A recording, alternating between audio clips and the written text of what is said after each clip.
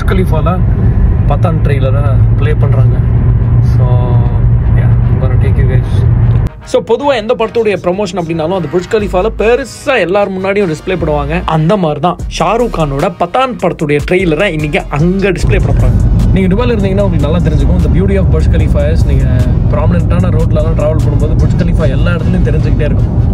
துபாய்க்கு வந்தீங்கன்னா கார்லேயோ பஸ்லேயோ உட்காந்து பார்த்துக்கிட்டே இருக்கலாம். ஓகே இப்போ நான் துபாய் மால்குள்ளே போக போகிறேன் ஸோ துபாய் மாலுக்கு உள்ளே தான் புர்ஜ் கலீஃபா இருக்குது இன்னைக்கு ஷாருக் கான் வராரு. ஏன்னா ட்ரெய்லர் இங்கே போடுறதுனால. அப்படியே நம்ம வீடியோஸ் இன்ஸ்டாகிராமில் யூடியூப்பில் பார்க்குறவங்க வந்தாங்க. I was really glad to meet these people a lot of people now main விஷயத்துக்கு போவோம். செம்ம கூட்டமாக இருந்தது. பயங்கர கூட்டம். திருவிழா மாதிரி இருந்தது. ஆக்சுவலி ஷாருக் வந்து அந்த இடத்துல நின்று ட்ரெய்லர் லான்ச் பண்ணி டான்ஸ்லாம் அவர் ஆடினாரு. வேர்ல்ட்ஸ் டாலஸ்ட் பில்டிங்கில் ஒரு படத்துடைய ட்ரெய்லர் வருது. பெரிய விஷயம். விக்ரமுடைய போஸ்டர் கூட இங்கே லான்ச் பண்ணியிருந்தாங்க anyway subscribe to being bravo for more short